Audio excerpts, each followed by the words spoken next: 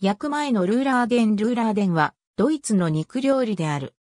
ベーコン、玉ねぎ、マスタード、ピクルスを薄くスライスした牛肉、または小牛肉で巻いて焼いたものである。ルーラーデンは複数型で、単数型はルーラーデである。通常牛肉、または小牛肉が用いられるが、もともとは豚肉が使われていたと考える。食品学者もおり、実際ある地域では豚肉が使われることが多い。今日知られる牛肉のルーラーデンは過去1世紀ほどから人気になってきた。安いうち、もも肉か外もも肉の肉が用いられることが多いが、高価なものはランプステーキ肉が用いられることもある。肉は大きく薄くスライスする。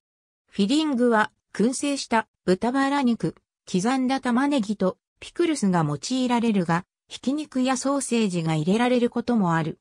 具材は地域ごとに異なる。通常は夕食として食べられ、グレービーソースにはしばしば赤ワインが用いられる。ルーラーデンには、じゃがいものダンプリングか、マッシュポテト、赤キャベツの酢漬けが添えられることが多い。